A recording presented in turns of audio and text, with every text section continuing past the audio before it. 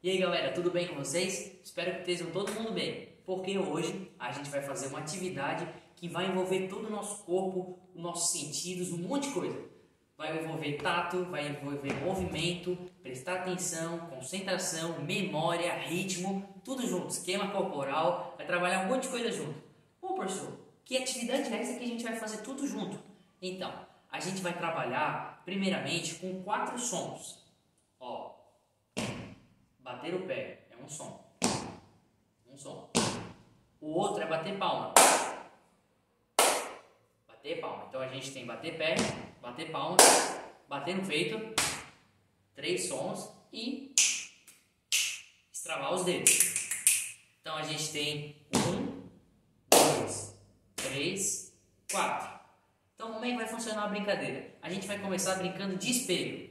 Todo mundo sabe que no espelho. Quando a gente vai no espelho, arruma o nosso cabelo, a gente vê se não tá, tá, tá, tá com a sobrancelha arrumada, não tá com nada no olho, né? Então, o espelho ele repete tudo que a gente faz. Se a gente acenar para o espelho, acena o espelho de volta. Então é isso que a gente vai fazer. Você vai convidar o papai, a mamãe, o irmão e vocês vão fazer um gesto, um movimento, uma sequência e eles vão ter que fazer também. A primeira vez um de frente para o outro. Então, por exemplo, você ou sua mãe vão começar e vocês decidem, pode ser no pedra, papel ou tesoura. Quem vai começar? Quem começar vai fazer uma sequência. Ó, peito, palma, estralar. A outra pessoa, então ela vai ter que ter memória para lembrar os movimentos, vai precisar prestar atenção no que você está fazendo e escutar. Porque mesmo que vocês fechem o olho, isso aqui, vocês sabem que é uma palma. Esse som. Então a gente já está trabalhando várias características, além do ritmo. Então vocês vão fazer uma sequência começando com um, dois movimentos. A pessoa vai repetir. Aí vocês vão fazer outra coisa. A pessoa vai ter que repetir. E vocês vão aumentando.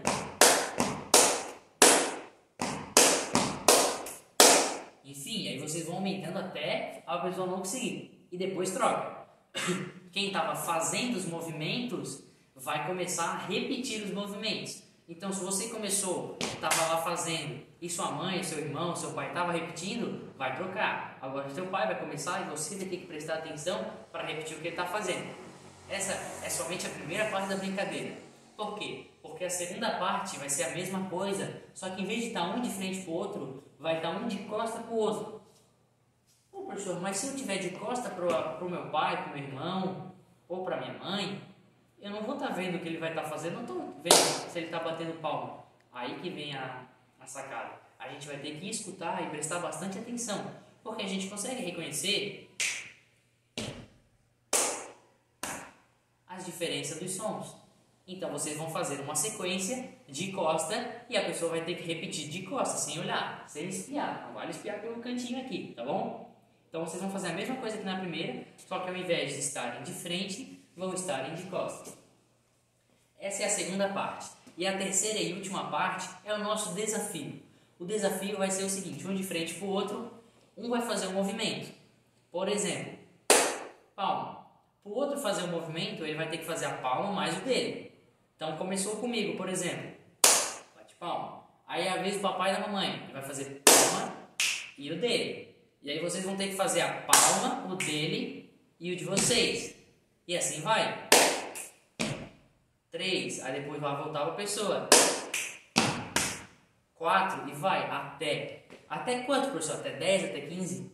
Não sei. Até alguém errar. E aí a gente pode brincar várias vezes para treinar nossa memória, nossa atenção, nossa concentração, nosso reconhecimento dos sons, de ritmo, né? Tudo isso está sendo trabalhado nessa brincadeira de esquema corporal, de movimento. Então é uma brincadeira que trabalha um monte de coisa, é super divertido e não precisa de nenhum material, só o nosso corpo.